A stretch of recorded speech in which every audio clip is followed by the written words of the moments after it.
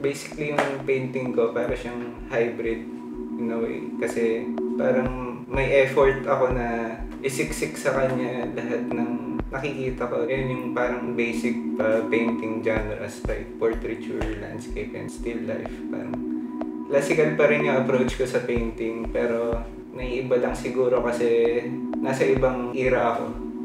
Pero tingin ko yun pa rin yun. Gumagawa ako ng paraan para mag-workout sila. Yung portals parang gusto ko lang siyang ilagay sa painting kasi may ako sa multi-layered na image treat. So pakiramdam ko pag merong parang portals, parang binibigyan mo siya ng ibang layer. Sa painting ko parang may 100 portals dun. So, lalo na ngayon yung nangyari sa atin, di ba? Yung quarantine, parang mas naging inward ako nun. Kasi di mo ma-experience yung external world eh.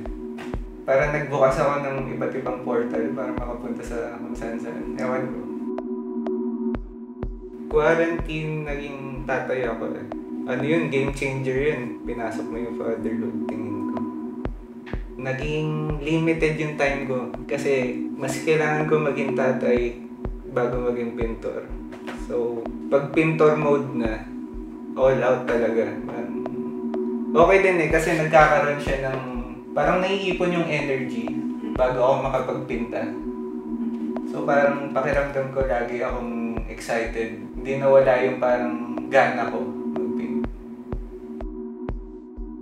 Gusto ko yung energy na moving eh.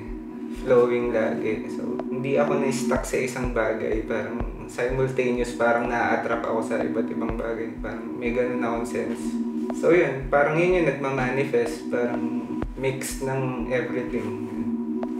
Nakikita ko sa painting ko parang reflection lang din ng ano ko eh, human experience ko.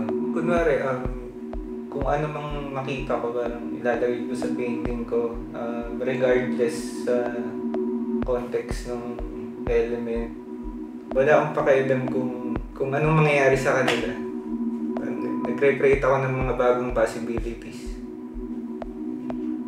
Para sa akin kasi, pag nasa painting na siya, nagiging shape na lang siya, nagiging color na lang siya. Uh, nawawala yung status, nawawala yung context.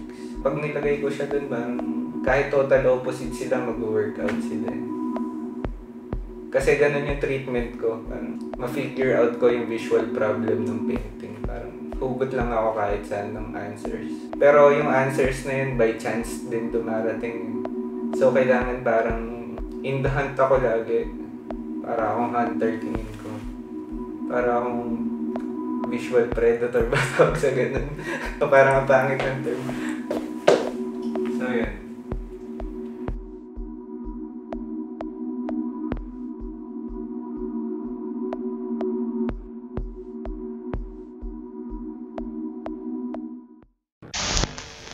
Ah, shit. Mali yung mga answers ko. Sorry. Nagpa-pile up na yung ano ko.